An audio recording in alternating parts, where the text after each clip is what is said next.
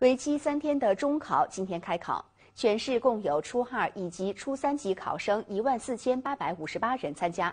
与往年不同的是，今年我市所有中考试试实现了空调全覆盖。今天上午首先开考的是初二年级的地理和生物，下午初三考生正式进入中考模式。为给考生鼓劲加油，各初级中学也举办了各种活动。育英中学的老师们身穿红色的战袍，与出征中考的各位考生击掌加油。学校方面还提前组织好运输车辆，做好用餐计划。今年呢，换了一个陌生的场地，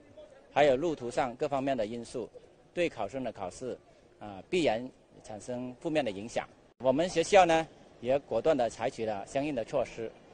联系了汽车公司，对考生进行全程的接送。联系了交警部门，啊，对交通进行疏导。同时呢，我们学校的饭堂也提供了全体考生的午饭。在备考方面呢，我们以不变应万变，还对学生进行呃各方面的心理的疏导。我们的全体老师，啊，也是全程的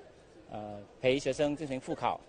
为给学生提供一个清凉舒适的考试环境的要求，市教育局结合我市实际，迅速调整了考点安排工作，将原先广大台山附中和大江实验中学两个考点的考生合并到台山桥中考点考试，将原先培正中学考点和育英中学考点的学生合并到培英职校考点考试，其他二十二个考点不变，均在本校考试。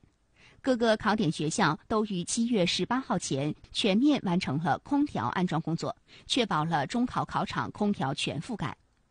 此外，受到疫情影响，英语科听说考试也由原来需要提前进行，合并为当天同时进行听力和笔试考试。